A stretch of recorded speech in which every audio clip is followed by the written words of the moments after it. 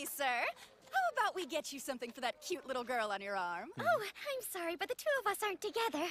My mistake, but you make a gorgeous couple. Well then, how about picking up a souvenir? Might be kinda nice.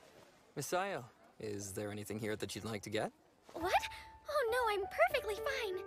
You've done a great deal for me, Miss Sayo, so I'd like to return the favor. Mm-hmm. As I'm sure you'll learn, there are times in a woman's life where it's just more courteous to accept a gift. Really? That's one of our finest items.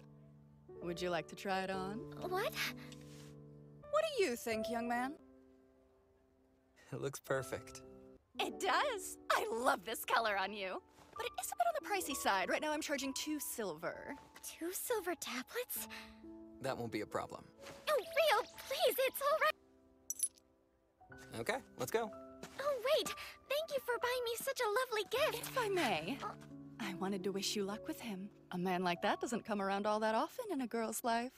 Uh, uh,